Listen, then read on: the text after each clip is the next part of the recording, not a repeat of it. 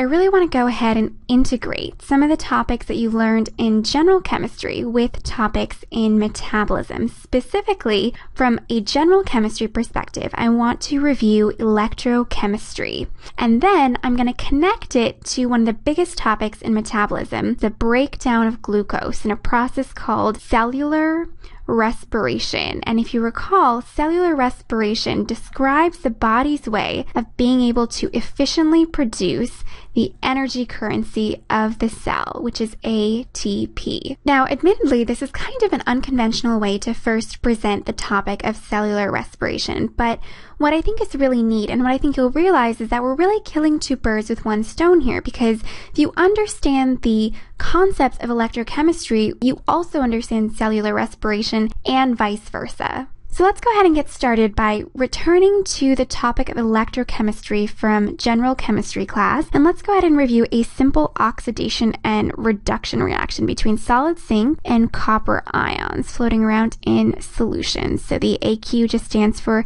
aqueous solution. And the products of this reaction are zinc ion and solid copper. Remember that whenever we're talking about reduction oxidation reactions, or as they're fondly referred to as redox reactions, we're talking about the flow of electrons. We must ask the question, what is gaining electrons and what's losing electrons? So copper here, which is positively charged, is gaining electrons and therefore being turned into solid copper, which has no charge. So we say it's gaining electrons, which means it's being reduced.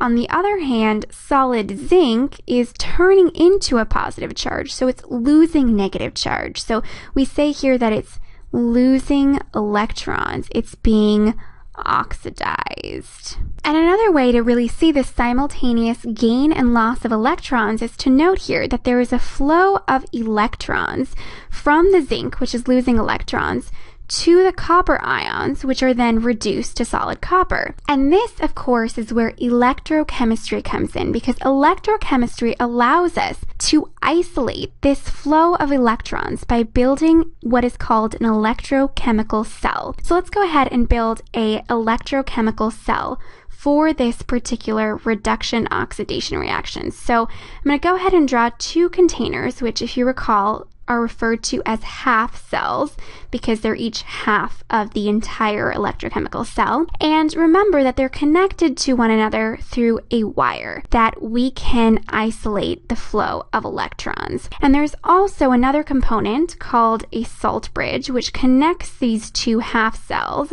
Just as a brief review, remember that this allows the flow of ions between each cell so that there's not a buildup of charge from this movement of electrons. Let's go ahead and remind ourselves where these electrons are coming from. So remember, the electrons are flowing from the zinc, which is losing electrons, to the copper, which is gaining electrons. And this is really the ingenious part of the electrochemical cell. It allows us to separate what's losing electrons, in this case solid zinc, from what's gaining electrons, which is the copper ions, and therefore allows us to isolate this flow of electrons through a wire. And of course, we also have zinc ions in solution on this side of the cell and solid copper. The take home message is we're really separating what's getting oxidized from what's getting reduced. And ultimately, this flow of electrons through the wire, which is also referred to as current, allows us to perform energy requiring processes such as in lighting up a light bulb. Now, here's the most important point that I want to make in this video. In our body, we also isolate a flow of electrons during cellular respiration. But instead of lighting up a light bulb, we harness this flow of electrons to produce chemical energy in the form of ATP. So let's go ahead and take a look at how this works by looking at the overall reaction for cellular respiration. Specifically here, we're looking at the breakdown of glucose. So glucose is the chemical formula of six carbons, 12 hydrogens, and six oxygens. And even though it's broken down in many multiple steps, the overall reaction for the breakdown of glucose is glucose combining with oxygen to produce water and carbon dioxide. And I'm going to go ahead and put in our stoichiometry here. This overall reaction is also a reduction oxidation process that involves a flow of electrons, just like our zinc and copper example. The flow of electrons, however, may not be as clear here, so I just want to take a minute and review kind of the oxidation and reduction from more of a biological perspective by looking at this reaction. So in the zinc and copper example, it was clear what was gaining and losing negative charge, but here we have to really think about electron density. And so when we look at this molecule of glucose, it is oxidized, that is, it loses electron density to form carbon dioxide. And the way we can rationalize it, so I'm going to go ahead and say that this is oxidized. If we look at the carbon, when it's attached to two atoms of oxygen, the oxygen atoms essentially steal the show because they are much more electronegative than the carbon. So carbon has very little electron density. It lost a lot of it from before when it was surrounded by hydrogens as well, which didn't steal the electrons as much. Now remember, if something's being oxidized, something must be reduced. In this case, our oxygen molecule, which is also referred to as kind of the final electron acceptor, is being reduced. It's gaining electron density. It's essentially gaining the electrons and the hydrogens that were lost from our glucose molecule. So here we have a gain of hydrogen and we form water. So the water is the reduced product of the oxygen.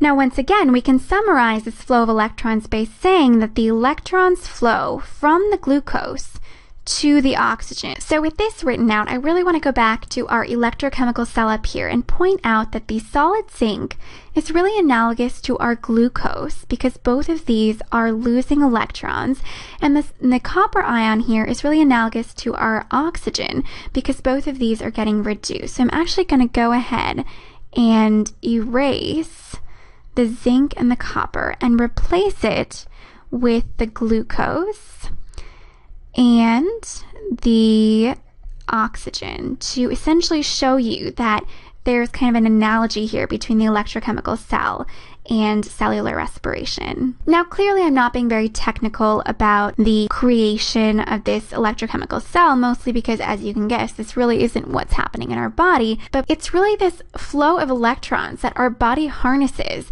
And instead of lighting up a light bulb here, which I'm going to erase here, instead of lighting up this light bulb, our body uses this flow of electrons, it harnesses it to allow the body to convert ADP back into ATP, which is, of course, the entire goal of cellular respiration, and ATP can fuel all of the energy requiring processes in our body. We can continue to extend this analogy between cellular respiration and the electrochemical cell we've drawn by pointing out that even though we don't have, you know, a wire or separate containers in our body, turns out that our body has actually functional equivalents of both of these two things. So let's start off with a wire. So in our body, instead of a wire, we have something called the electron transport chain, which I'm going to abbreviate here as ETC.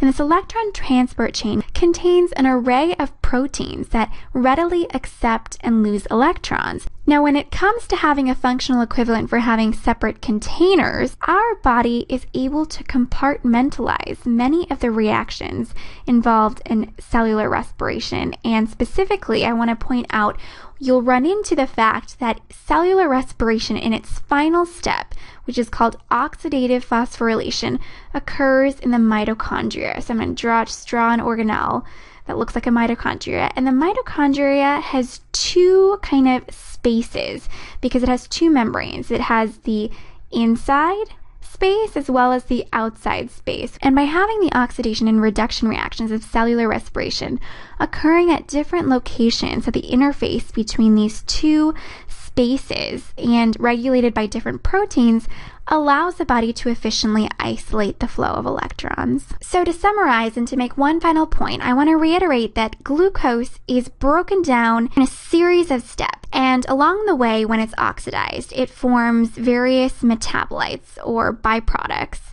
that are more and more oxidized. And these metabolites essentially donate electrons at each step to molecules that are referred to as electron carrier molecules. And as a technicality, I want to point out that it's really these electron carrier molecules that ultimately donate electrons to the electron transport chain and ultimately to oxygen. So I'm going to go ahead and indicate this with an asterisk here and note that it's really the electron carrier molecules which directly donate electrons into this circuit.